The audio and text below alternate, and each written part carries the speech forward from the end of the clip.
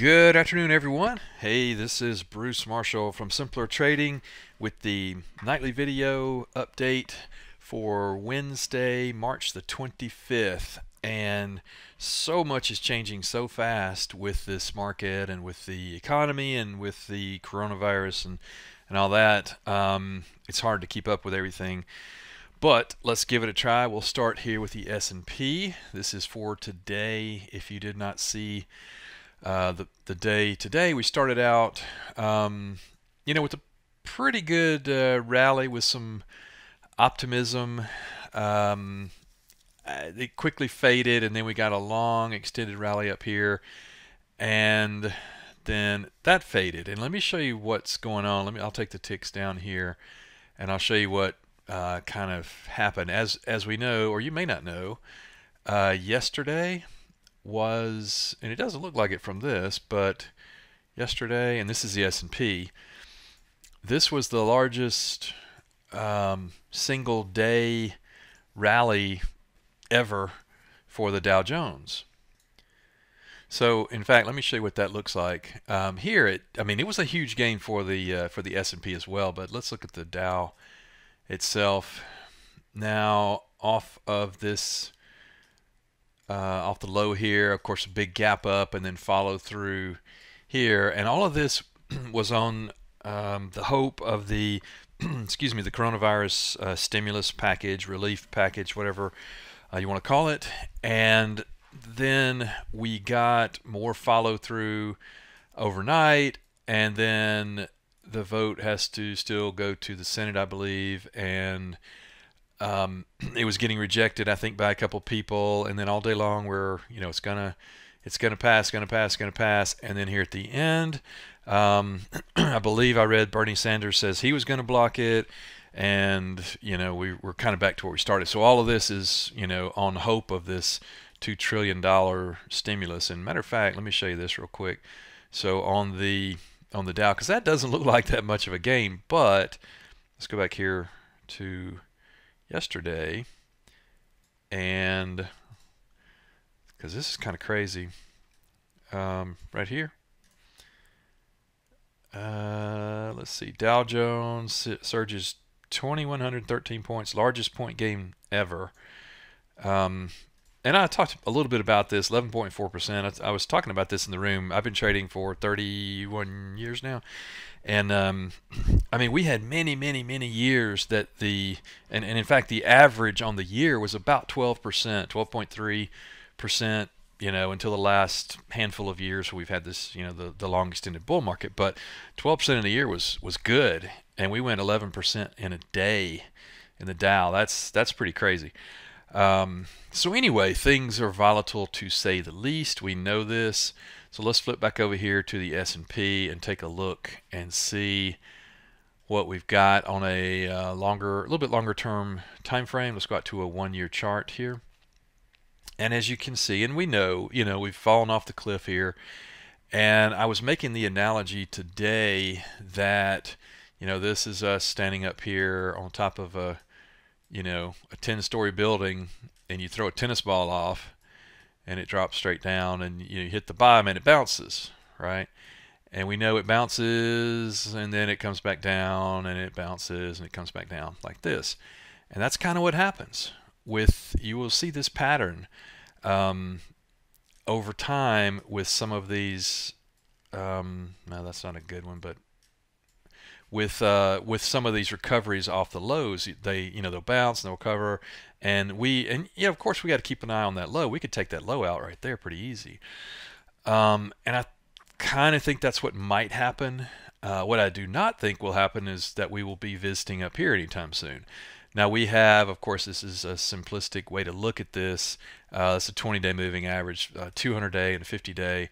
You know, it's I suppose it's possible we get up here with uh, you know the stimulus package is two trillion dollars and that could you know kind of jumpstart things I suppose or or lessen the the brunt of the impact of what's going on uh, but uh, but you know the damage has been done and every day we go continue through this you know the more damage is being done and we saw this today. Apple announced that they're going to what, postpone the 5G or whatever.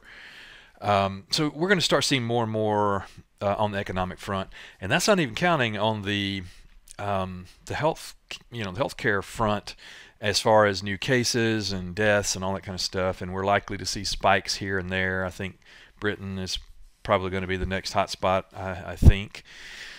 Um, so anyway, you know, the bottom line is, uh, as we are trading this, of course, this has been a, a, great bounce off that low, big rally, and all that kind of stuff. And we've been trying to position around that. Um, I'm looking for, you know, more upside here. Um, I don't even know. I'm just drawing dots. I don't know if we get that far. I was kind of looking for 2,700. Um, I, I, really, you know, I really don't know. We've got a voodoo line at 2650 um, a, a, a, fire line, pretty big, pretty big level up here. So nobody really knows how much will bounce based on this stimulus package and and what all's going to be on it, uh, in uh, you know included on the uh, on the the final bill itself. We uh, we know there's a lot of pork being trying trying to be crammed into this thing. Um, you know, so what's what's the final version going to look like? We don't know how's the market going to react to it, you know, and all that kind of stuff. So, you know, we just we just don't know. But the best guess and the most logical way to look at it is that we bounce up here, we fade the bounce for a return back down somewhere lower. Let's say let's get let's do some extremes. Let's go 3,000 on the upper end, and we come all the way back down here on the lower end. I don't think we get that high, but say 2650, 2700. So this this kind of gives us a a range to play in. We can pretty much kind of exclude all this up here. And at the moment, I, I want to exclude all the stuff down here on the lower, or taking out those lows, because we can deal with that later.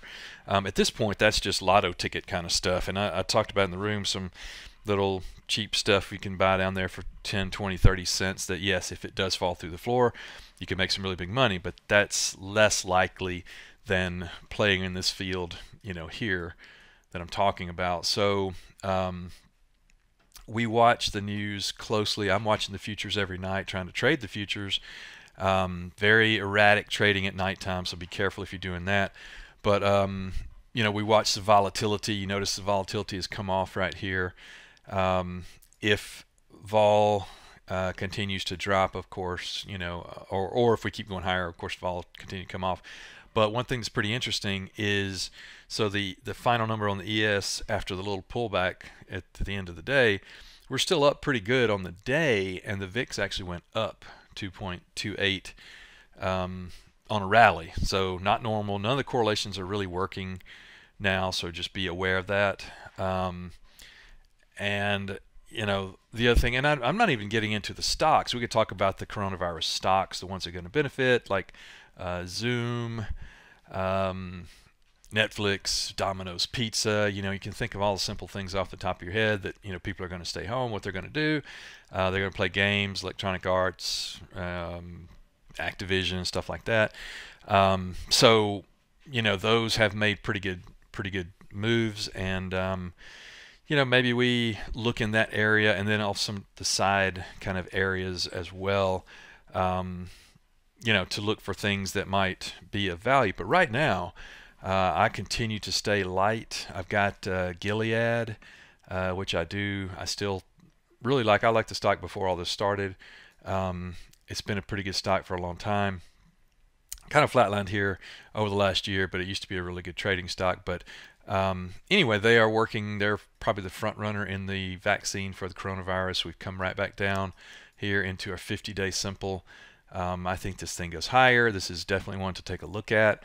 It's really hard to pick, you know, the winner um, of you know who's going to win. There's a lot of really tiny biotechs and things like that. Uh, Gilead's been working on this way before this even started um, on immune system and uh, that that type of virus anyway. So um, I think they've got a, a, far head start. But um, but anyway, other than that, you know, I'm being very selective, scalping, uh, trying to be in and out quickly and being defensive, keeping powder dry. Now, when the time comes, and we'll talk about this over time, you know, it, yes, it will be the time to nibble on some long stocks to stick away in your account for a while. Um, I just don't think the time is now. I think there's there's too much damage to be done. We can't even evaluate things yet. We will have employment numbers tomorrow. They're going to be terrible. Um, no way to know how the market's going to react. Everybody knows they're going to be bad. So, you know, is that already discounted in or not? And of course, no one knows.